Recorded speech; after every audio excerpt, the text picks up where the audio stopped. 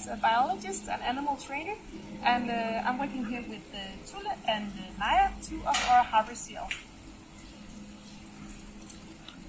So I want to tell you a little bit about OLD, positive reinforcement, because that is what we use when we train our animals in here. Ah. So positive reinforcement, OLD, is when we ask for a certain behavior, and if the animals uh, do the behavior, we reinforce them, of course.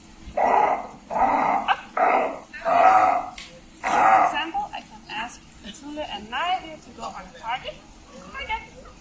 They both do it. And then they are rewarded. If they choose not to do it, I will just uh, ignore their behavior and then I will try and ask again. And if they still don't want to do it, I'm just going to ask for another behavior.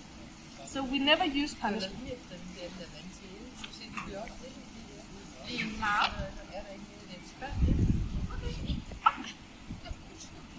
And that is to um, increase the, the possibility, possibility that the animals want to uh, participate.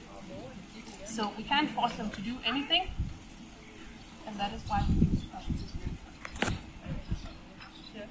So here, right now, all the positive reinforcement is fish, but you can also use a secondary reinforcement, up, which can be maybe clapping or um, if it's a certain thing that your animal really likes to do. Like Tula here, she likes to bowl, she likes to jump for the ball, so that can also be a reinforcer for her.